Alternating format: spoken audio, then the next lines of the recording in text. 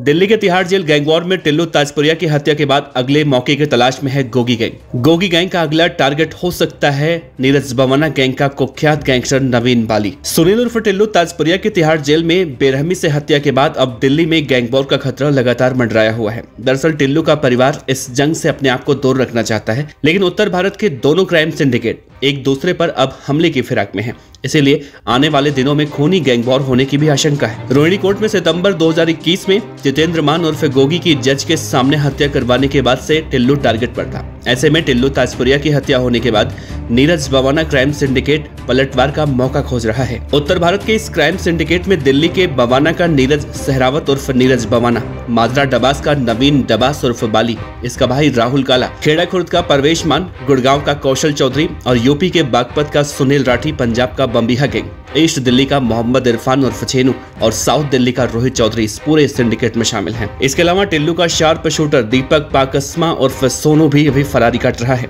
फ़िलहाल टिल्लू ताजपुरिया का मज़बूत गुर्गा यही बताया जा रहा है। रोहतक के सापला स्थित पाकस्मा गाँव का रहने वाला दीपक उर्फ़ सोनू, जिस पर डेढ़ लाख रुपए का इनाम है। टिल्लू गैंग का ये शार्प शूटर 2018 में दो हत्याओं में शामिल था। इसे पश्चिम बिहार पुलिस ने गिरफ़्तार किया था। जेल से बाहर आया तो 2020 में बेगमपुर इलाके के रोहिणी सेक्टर 24 में हत्या में नाम सामने आया। इस केस में ये वांटेड चल रहा है।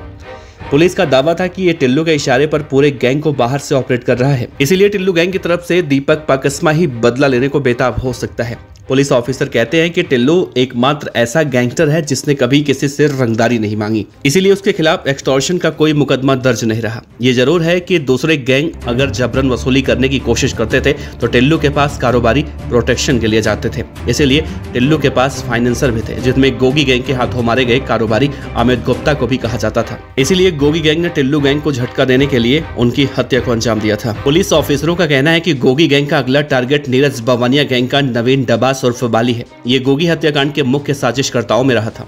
बाली को तिहाड़ जेल से झज्जर ज़िले की क्राइम इन्वेस्टिगेशन एजेंसी, यानी कि सीआईए 18 मई तक रिमांड पर ले गई है। झज्जर के बेरी नगर पालिका चेयरपर्सन के पति और कादियान खाफ के प्रधान देवेंद्र उर्फ़ बिल्लू समेत तीन पर 28 मार्च को फायरिंग हुई थी। बाली के साजिश में होने का शक है। इस फायरिंग की ज़िम्मेदारी विदेश भाग चुके गैंगस्टर हिमांशु उर्फ़ भाव ने सोशल मीडिया पर ली थी, जो नीरज बवानिया गैंग का करीबी है। खुफिया इनपुट है कि झज्जर में रिमांड के दौरान गोगी गैंग के नवीन बाली पर हमला हो सकता है। इस बात की आशंका भी जताई जा रही है।